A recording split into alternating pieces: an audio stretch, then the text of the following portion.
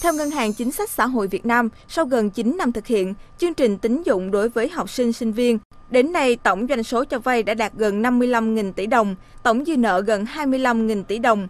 Cụ thể, mức cho vay của chương trình là 1 triệu 100 ngàn đồng đối với một học sinh trên một tháng, lãi suất là 6,6% một năm.